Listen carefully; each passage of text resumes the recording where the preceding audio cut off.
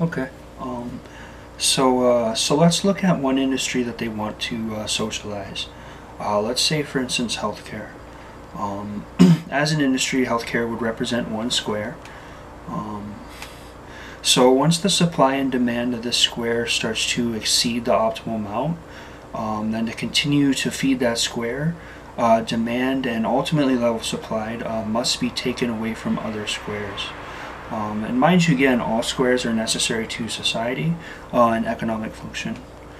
Um, so, an example of this for uh, healthcare uh, would be say that uh, more people are in the healthcare system or uh, like needing healthcare services, um, like more than they naturally would would be given like normal levels of supply and demand. Um, so this would this would increase the demand for healthcare, um, which would provide opportunities to supply more of it. Um, however, as I like alluded to before, uh, this is not without effect. Um, at a certain point, the healthcare square uh, expansion can only be sustained by taking away from other squares. Um, for instance, like the military, um, like requires everyone to be physically fit to a certain standard. Uh, like for instance, even um, even in like non-combat positions, like you can't be uh, disabled or even like like chronically ill in a certain capacity. Like uh, you wouldn't meet the standard, then like you couldn't be part of the military.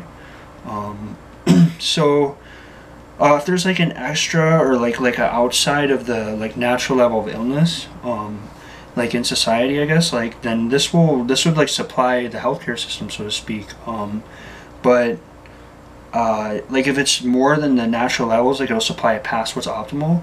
Um, and in order to sustain that level of supply, resources must be taken away from uh, other squares, like such as the military square, um, which requires healthy adults to participate.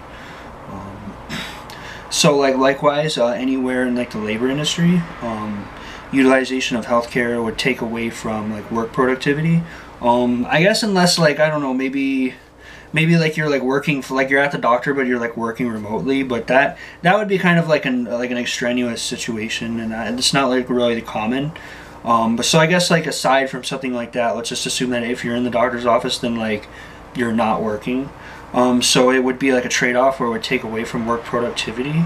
Um, but as I pointed out before, like obviously within spectrum levels, like this is tolerable because like every square has a certain amount of like participation patient rates.